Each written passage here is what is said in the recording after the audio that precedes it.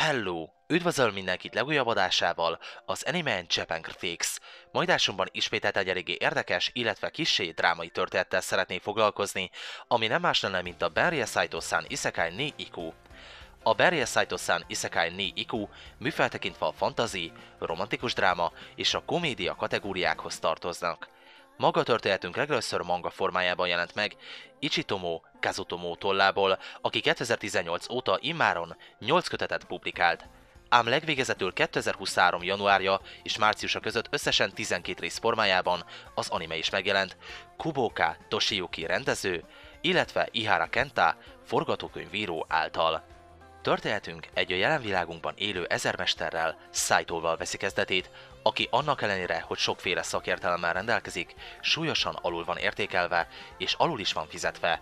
Ám egy a főnökével való vitát követően egy teherautó hirtelen elüti. Azonban meglepő módon Saito nem hal meg, hanem egy másik világba kerül.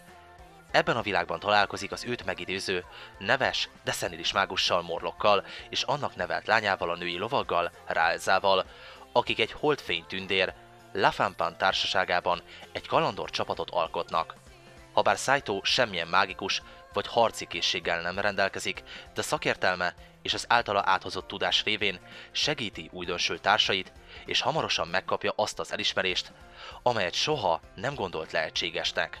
És egyben hatalmas változásokat is hoz a világba, mint egy olyan kalandor, aki bármire tudja a megoldást, s aki nem csak az elismerésben, de egy nő képében is megkapja mindazt, amire egész élete során vágyott.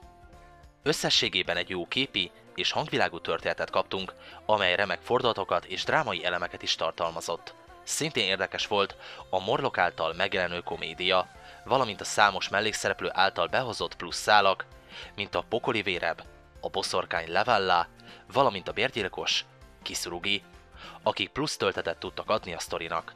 Így ha ezek alapján kéne értékelnem, akkor a Benria Saito-san Isekai ni Iku egy 10 per 8-as alkotás lenne az én megítélésem szerint.